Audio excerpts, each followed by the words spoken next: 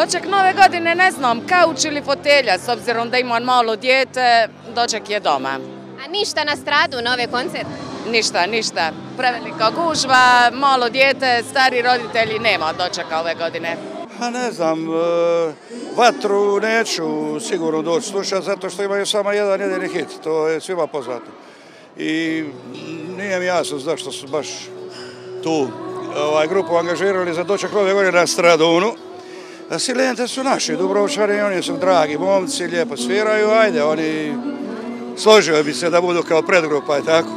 Evo, trenutno smo na dječjoj, a za nas odrasle ćemo radije otići kod starijih malo u Primorje, Komin, tako nešto tradicionalno.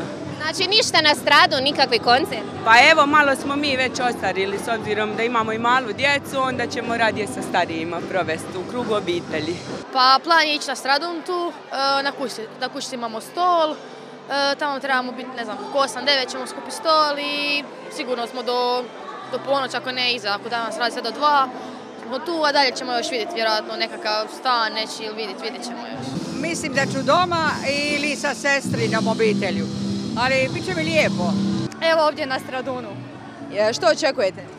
Pa dobru zabavu, glazbu i puno ljudi vjerojatno jer već je sad gužva. Pa večeras ćemo poslušati e, našu grupu Silente, tu ćemo biti na Stradunu i vjerojatno uživati. Jel tako? Tako je. ćemo TV, nešto popapat, popiti i uživati. Isto, Kako žena kaže, tako mora tako je. Uživamo u dvoje. Evo, bit ću tu u gradu i onda iza imamo kuću gdje ćemo proslaviti dočekati novu godinu. Ja ću sad malo prošetak sa Dunom pa ću onda poći na more, dočekati novu godinu i eto. Ne bojiš se korone?